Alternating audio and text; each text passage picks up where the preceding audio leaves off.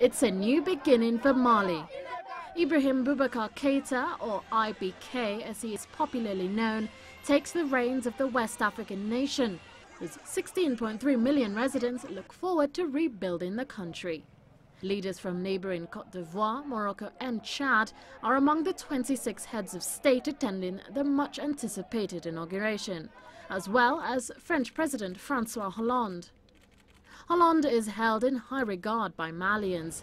This mainly after France sent troops in January to help the military fight off an Islamist insurgency in the north. Keita's landslide election victory in August was seen as pivotal to helping the West African nation regain stability.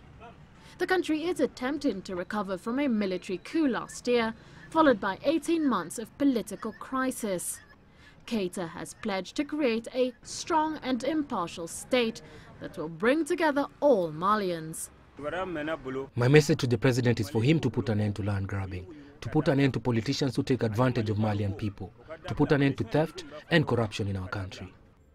Despite the country's recent setbacks, Malians from around the country are in solidarity.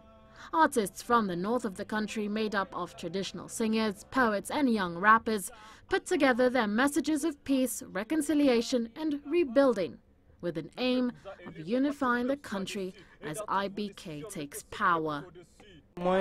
This is the way to communicate for the young generation, so we try to modernize a little with the modern rap tradition. The rhythm is modern, but it's on a traditional music theme. We choose this to try and push our message through in a positive and more concrete manner. Donc on a choisi ça. Like many of their countrymen, some of these musicians from northern Mali were targeted by hardline Islamists bent on imposing Sharia or strict Islamic law.